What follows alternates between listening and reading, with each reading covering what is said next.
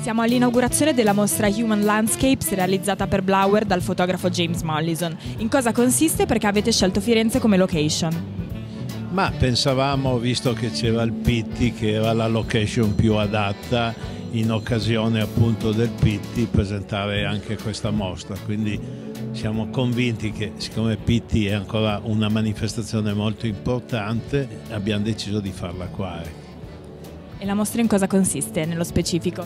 Ma allora, questo è un progetto che era stato presentato da Morrison qualche anno fa e ci è piaciuto molto perché mh, oltre ad essere un bravissimo fotografo, secondo me è un artista perché è riuscito a tanto a fotografare dei personaggi che non sono dei modelli, quindi presi per strada, e è riuscito a portare questa autenticità nelle sue fotografie, nei paesaggi che ha fatto e ti dà l'impressione di essere veramente dentro, in America. Ecco. Quindi l'idea è stata bella ed è anche un, secondo me anche un progetto di cultura, non è solo un servizio fotografico. Quindi a noi è piaciuta molto trasmettere questa sensazione che vedete con delle fotografie, con dei personaggi presi per la strada, veri, e ha portato veramente l'autenticità dell'America. Quali sono le principali novità presentate da Blower in occasione di Pitti Immagine 97? Ma noi siamo sempre attenti un po' alla ricerca, ai materiali. Diciamo che di nuovo c'è un po' un ritorno di nuovo al cappotto, alla lana e noi l'abbiamo interpretato alla nostra maniera.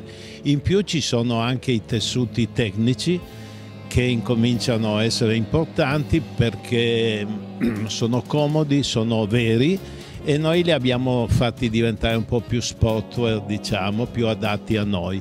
E devo dire che un po' il futuro, visto anche il clima, abbiamo tantissimi capi con interni staccabili, quindi diventano quasi dei four season. Parlando del giro d'affari dell'azienda, come si è concluso il 2019? Ma noi quest'anno siamo riusciti a fare rispetto all'anno scorso ancora circa un 20% in più, quindi stiamo andando molto bene, anche dovuto al fatto che stiamo allargando un po' l'estero, quindi un mercato estero per noi importante, estero vuol dire mondo, noi incominceremo da questa stagione anche in America, finora non abbiamo fatto niente in America, quindi abbiamo delle prospettive che sono buone.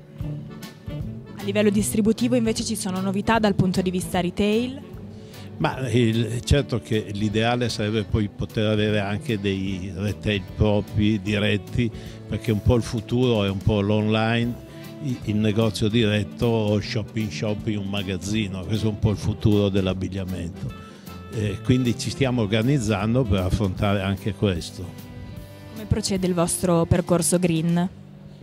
Ma noi, se voi ricordate, siamo stati forse i primi già quattro anni fa. Diciamo che è interessante, noi quest'anno rispetto all'anno scorso siamo riusciti anche a fare un piumino con il cashmere riciclato, quindi qualcosa in più.